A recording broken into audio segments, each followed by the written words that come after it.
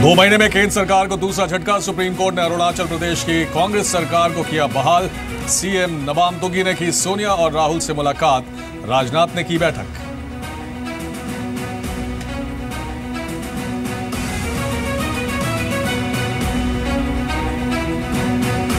जम्मू में आतंकी हमले का अलर्ट। खुफिया एजेंसियों ने इंटरसेप्ट की आतंकियों की बातचीत। पाकिस्तान से लश्कर कमांडर को मिला जम्मू को टारगेट करने का आदेश।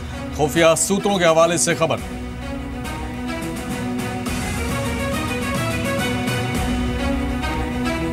कर्फ्यू तोड़ने पर गिलानी और मीरवाइज गिरफ़्तार। दक्षिण कश्मीर के चार जिलों में कर्फ्यू जारी। अलगाववादियों ने दो दिन और बढ़ाया बंद।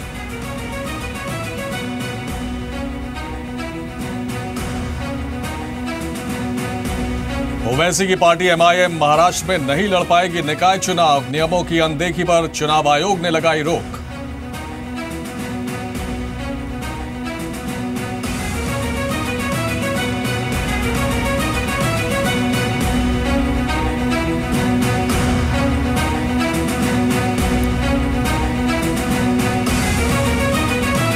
डिप्टी एसपी एम के गणपति के सुसाइड को लेकर कर्नाटक विधानसभा में हंगामा, सरकार के खिलाफ बीजेपी और जेडीएस विधायक रात में भी देंगे विधानसभा में धरना।